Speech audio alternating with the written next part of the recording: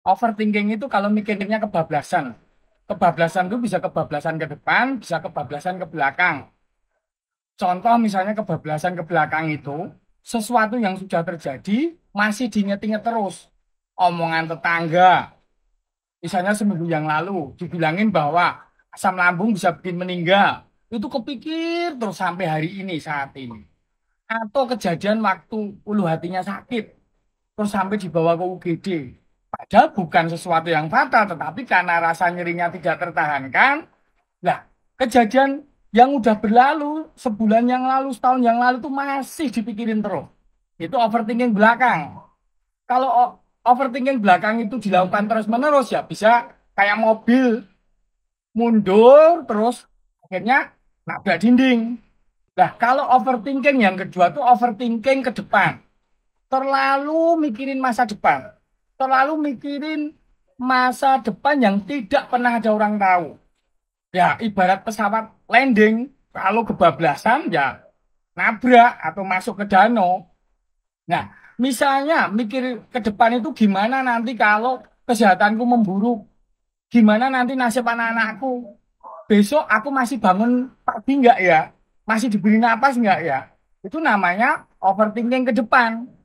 Dan hal-hal yang fatal akan selalu terbayang-bayang terus. Akhirnya orang yang overthinking itu menjadi lelah. Padahal nggak ngerjain apa-apa, apa pun. Mager, tapi merasa lelah hidupnya. Makanya itu, kalau memang overthinking itu sering terjadi pada kita, kiat yang dilakukan pertama itu, stop.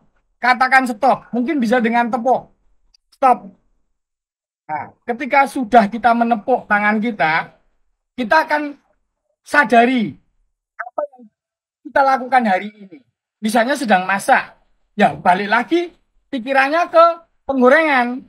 Wah, masak yang enak, jangan sampai gosong.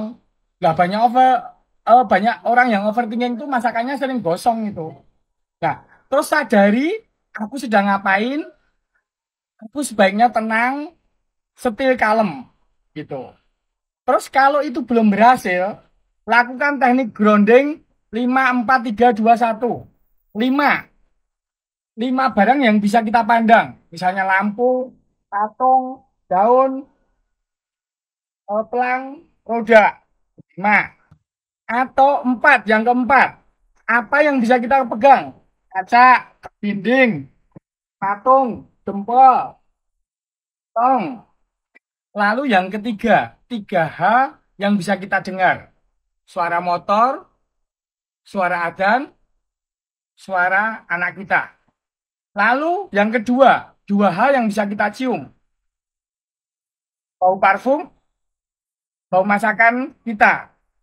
Nah, itu membuat kesadaran kita beralih ke masa sekarang. Lalu yang terakhir, supaya mantap, satu hal yang bisa kita cicipin. Supaya perhatian kita kembali ke masa sekarang.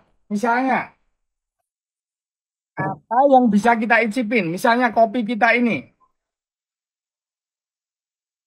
Sambil narik napas dalam. Dengan begitu, kesadaran kita akan kembali pada hari ini.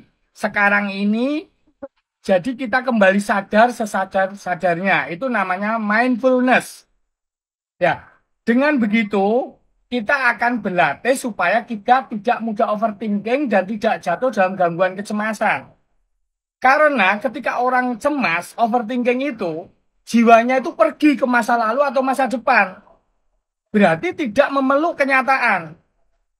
Menyembuhkan overthinking dengan gangguan anxiety itu, dengan memeluk kenyataan hari ini, otomatis dengan perasaan bersyukur bahwa hari ini aku masih diberikan oksigen gratis, masih diberikan anak-anak yang baik, dan masih diberikan kesempatan hidup yang lebih baik